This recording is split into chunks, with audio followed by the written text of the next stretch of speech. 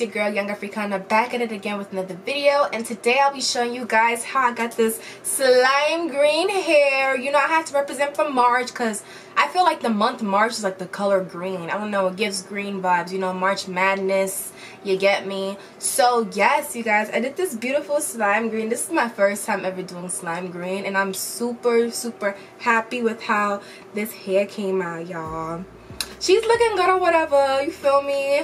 But yes if you guys want to see how i achieve this look this color and this install then keep on watching. But before you go ahead and continue on to the next segment i do want you guys to go ahead and subscribe to your girl. Comment some green hearts if y'all are feeling this look. Ooh, that was a lot. Mm. Like I said, go ahead and subscribe to my channel if you are feeling this look. Go ahead and click that bell right next to the subscribe button so you guys get the drop before the drop even drop you get me? And if you don't understand if you don't get me you go ahead and click that bell so you get notified of when I post my videos okay? But yes you guys go ahead and do that. Comment your green hearts if y'all feeling this already because baby I look good okay?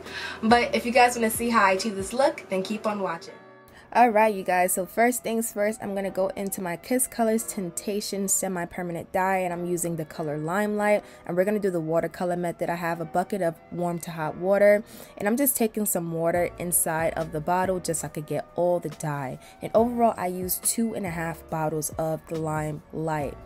So I'm going to go ahead and just pour that in the water and then I'm going to go ahead and just mix it around, make sure that there's no dye flying around and then I'm just going to go ahead and just dip the hair. I did not protect the knots on this um, hair. I tried a new knot method of me trying to dye my knots like the color of my skin using a semi-permanent. It worked out pretty well so I'm to try it a couple of more times just to make sure it's efficient and I'll show you guys how I, you know, bleach my knots, I guess, or tint my knots. So now I'm just going to go ahead and dip in the hair. And this hair is from my vendor that I am, I've been using this for years, but I am testing it out just to make sure that um, I will want to use this uh, for my future wig collection, which is in the future, you guys. So but yeah you guys i'm just gonna go ahead and just dip the water. As you guys can see the color did take the first time a little bit but we gonna have to add a little bit more. And the coloring here is a little bit off. Um it's not as dull looking in real life. I think it was just the um, lighting on my camera or just like my lighting period but yeah, you guys, I'm just to go ahead and just keep on dipping the hair and putting the hair in and out, mixing the dye. And I'm to go, I'm to work in intervals as well too. I just use a bottle and then I dip the hair and then I use another bottle just so I could like gradually build up the pigmentation in the hair just so I make sure I have the perfect color. Now I went ahead and just rinsed it out and then blow dried it and then this is how it looks you guys. So right now what I'm doing is I'm going to go ahead and part my part. We're doing a nice sleek middle part today, y'all. I was feeling, you know, um, Cher, um, I don't know, Kim K. It was giving that, you guys. But right now what I'm going to go ahead and do is use my Cara Care wax stick and then I'm going to go ahead and use my hot comb. I'm just going to press down my hair and this is a trick that I do um, just to make sure whenever I'm doing like straight hair to make sure that it is completely straight. So I'm going to go in sections with the front tilt and use my Cara Care wax stick and then go in with my hot comb. And you just want to make sure you go in sections. Don't make the hair too, too greasy. I just apply just a little bit um, just on the roots by itself too. And I use the hot comb just so when I put on the wig, it is nice and flat, you guys. If you're doing a middle part, why would it not be flat? Unless you're doing curls. But if you're doing a nice straight middle part, do not have it bumpy looking y'all that's not a good look so this is just my little trick that i do to make sure that my uh, middle parts is middle parting okay Now onto the back, what I like to do is I like to take like a horizontal row of hair in the frontal and I'm just going to go ahead and use my Care wax stick just to place it in place and then my hot comb just so we could cover up that last track right next to the frontal so everything looks nice and seamless.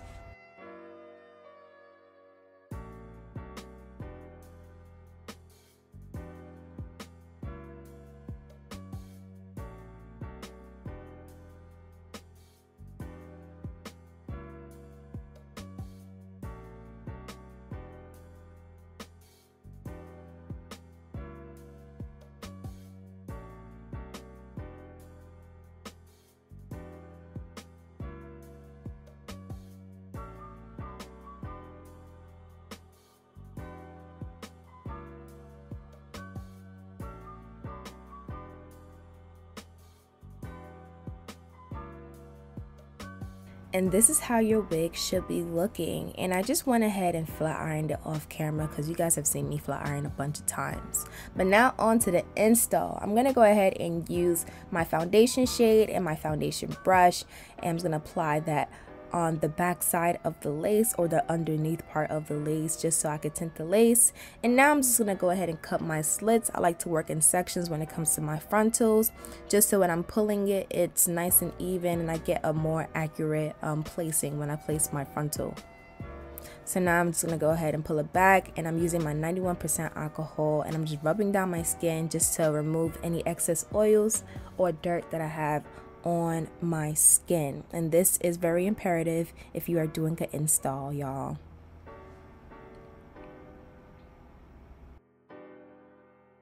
Now I'll be using my Erica J Watermelon Hold Me Down Skin Guard. And I'm just gonna go ahead and just spray that around my hairline. And then I'm going I'm gonna go in with the Erica J Hold Me Down Watermelon adhesive. And I'm gonna apply that around the perimeter of my hairline and I use two layers of this and this hair is stuck you guys. I don't like using too many layers because I don't keep my wigs in for long and I only wear them once. So yeah you guys. But now I'm gonna go ahead and just use the tail part of my rat tail comb and I'm just gonna smear that glue. I like to use the um, rat tail comb a little bit more than just like you know a regular wooden stick just because I feel like I don't know you just get better results So I'm just going to go ahead and just do that. And I'm going to let this layer dry before I apply the next layer.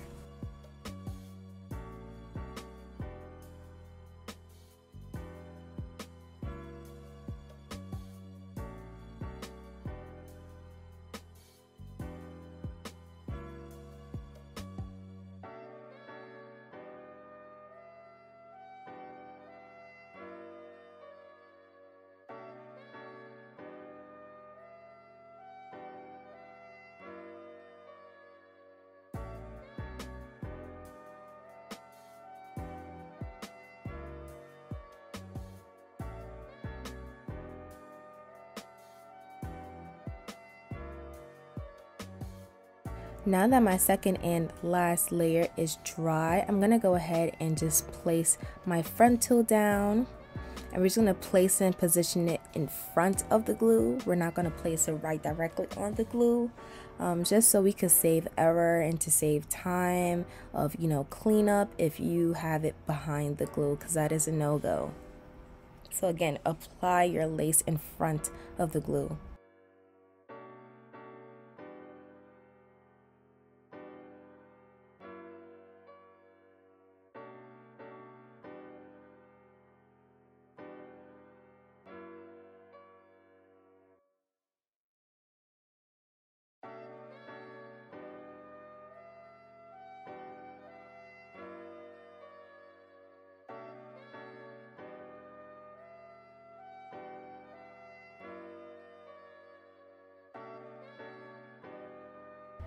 Now I'm just gently using my hands, even though you're not supposed to use your hands, supposed to use a comb, but I'm just gently using it because I feel like it was just more efficient at the time just to press down that lace into the glue. And now I'm using my eyebrow razor just to cut the lace off. You want to make sure you're cutting as close as possible to the hairline. And then I'm just using some extra glue and the um, tip of my rat tail comb just to detail. I like to call this part detailing. And I'm just going to go ahead and just fill in the spots that I missed and I'm just using my hand just to lift up the lace so I see exactly where I missed that. And I use the same amount of layers which is two layers for when I'm detailing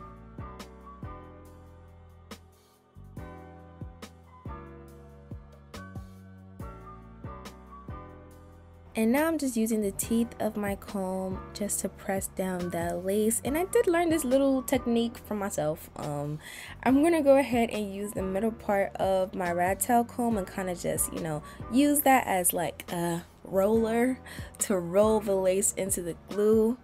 Um, I feel like it low-key makes a little difference, you know? You know, I was trying stuff, you know? But now I'm going to go ahead and work on one of the sides. And again, you just want to make sure you're cutting in a jagged motion and as close to the hairline as possible because you do not want a lacy install. Like lacy installs are not it, you guys.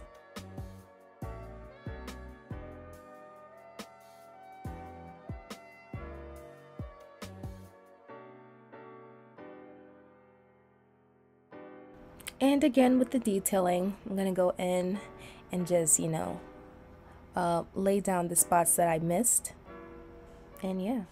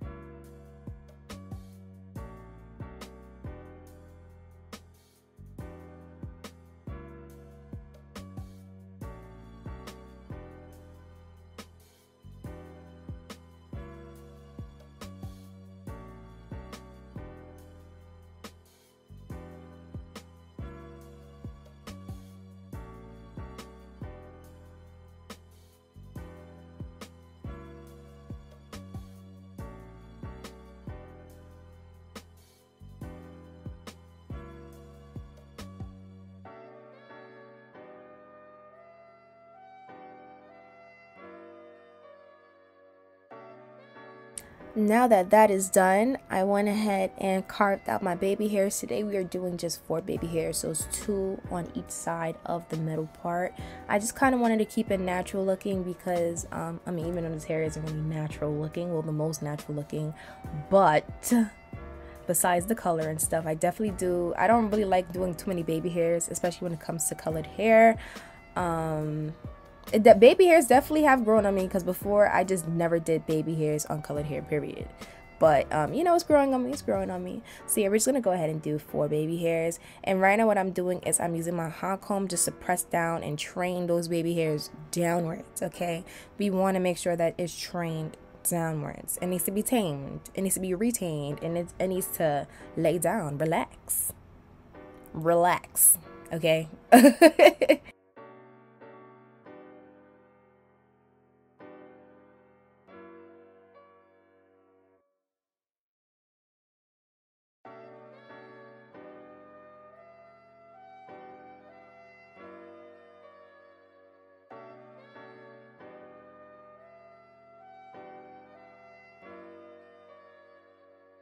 Then I'll be taking my Got2b Spray and I'm going to spray that all around the perimeter of my hairline. This is going to help further the melt. Alright, you guys can't skip this. You can't do this and expect your lace to be laid, mamita. That's not going to work, okay?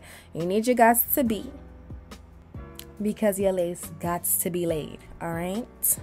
So yeah, after that's done, I'm gonna go ahead and use this melt belt that I got from Nestclusive. You guys should check her out. I definitely did review her hair um, with the pink, the coral pink with the hot pink uh, roots. It was really good. I loved it.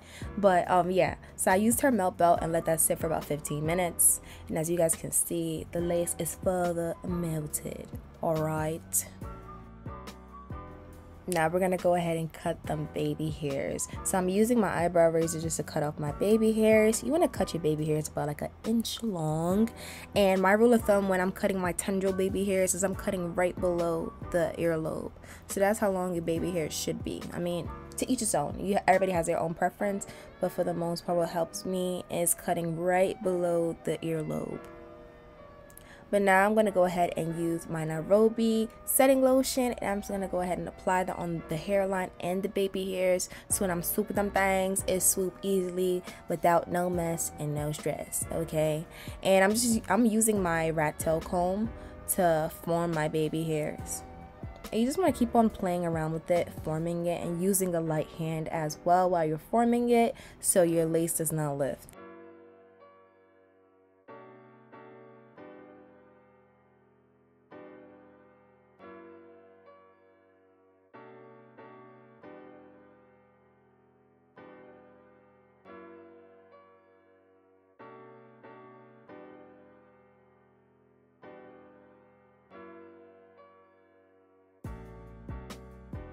Now I'm to go in with a silk wrap and then I use the melt belt on top of it as well, but I didn't catch that on camera.